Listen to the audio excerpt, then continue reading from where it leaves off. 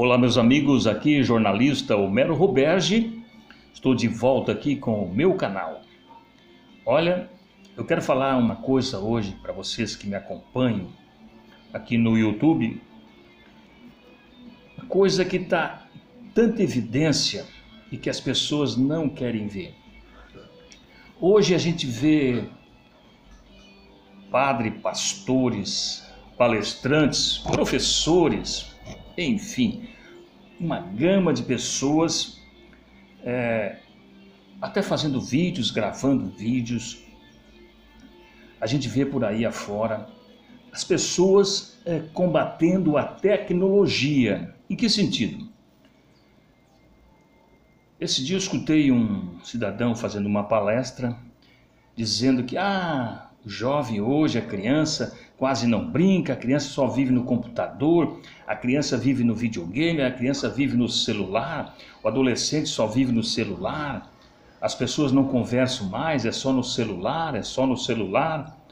Pessoal, nós estamos em pleno século 21, vejam bem, estamos em pleno século 21, a gente torceu, a gente vibrou, a gente estudou, a gente batalhou para chegar aonde chegamos. Chegamos no futuro, pessoal. Estamos hoje vivendo o futuro. Estamos vivendo a era da penicilina, estamos vivendo a era da tecnologia, da internet, do digital. Não podemos retroceder. Não podemos retroceder.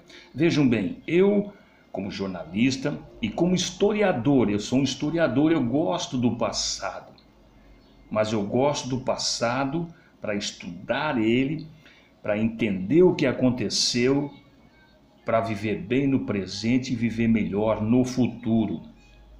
A gente não pode, agora nesse momento que a gente conquistou tudo isso, Antes a gente tinha que pegar uma enciclopédia para fazer um trabalho de aula. A gente tinha que ir para uma biblioteca, muitas vezes difícil de chegar até uma biblioteca. Muitas vezes não tinha aquilo que a gente procurava, a gente tinha que pesquisar em aquelas grandes Barça, aquelas enciclopédias maravilhosas que a gente sente saudade. Mas aquilo tem que ficar exposta no museu, exposta numa estante na sua casa, tem que ter, com certeza mas nós temos o computador, nós temos o Google, nós temos as grandes, a, a, as grandes ferramentas que estão hoje aí para a gente pesquisar e a gente, no mesmo instante, saber o sinônimo, o antônimo, saber o que é isso, o que é aquilo, através da internet, através do Google, enfim. Então eu digo assim, uma criança hoje, ela tem tempo para brincar, tem, ela pode jogar futebol, ela pode praticar uma arte marcial, ela pode praticar é, música, piano, enfim, pode fazer uma gama de coisas que estão por aí à nossa disposição e pode sim, deve estar ligada no computador, é, no celular, no tablet. Isso é a modernidade, pessoal. Isso sim é o futuro que chegou. Não podemos ir para uma, uma igreja, né, fazer um culto, um pastor fazer um culto, é, renegar, dizer que a ciência é coisa, é, como diria o padre Léo, coisa do encardido. Não é. A tecnologia é coisa de Deus, é coisa da ciência, é coisa do homem que estudou, se preparou para conseguir tudo isso. Bill Gates e muitos outros, Dobson, enfim, eles estão aí para beneficiar a humanidade. A tecnologia beneficia a humanidade, nós temos que cada vez mais. Então, pessoal, muitas vezes lá nos anos 60, nos anos 70, nos anos 80, quando se era pequeno, as dificuldades eram enormes, as doenças matavam, as doenças proliferavam, as bactérias, claro que hoje existe ainda, a gente está perdendo um pouco para as bactérias, mas as mentes brilhantes como Thomas Alva Edison, você já pensou, já imaginou, pense bem, o Thomas Alva Edison inventou a lâmpada, colocou a lâmpada para nós nos beneficiarmos e as pessoas dizer, eu, que é isso? Uma lâmpada dentro de casa, eletricidade dentro de casa. Já imaginou um negócio desse? Que coisa incrível! Eu uso aqui a minha a minha pomboquinha, eu uso aqui a vela, eu uso o lampião, isso sim. Não podemos colocar essa lâmpada dentro de casa, isso aí causa câncer de pele, isso aí causa isso, causa aquilo. Olha onde está a aberração e onde eu quero chegar. Nós, cada época que a gente vive, as coisas acontecem e tem os contra, aqueles que são contra tudo. Hoje, a maioria das pessoas são contra a tecnologia, o celular, a internet é uma ferramenta maravilhosa, veio e cada vez mais nós vamos ter coisas que nos vai proporcionar facilidade em nossa vida. Então, pessoal, não critique. Se o seu filho gosta de um computador, gosta de estar no celular, deixe, incentive. Claro, a escola é muito importante, a sala de aula é o futuro, é o caminho, é a educação, é a saúde, é o bem-estar, é o trabalho. O lazer também é que façamos um lazer, que vamos ao shopping. O shopping é uma coisa do futuro, o shopping é tudo, pessoal. Não vamos lutar, não vamos combater a tecnologia, a modernidade, a ficção que está chegando e se tornando realidade.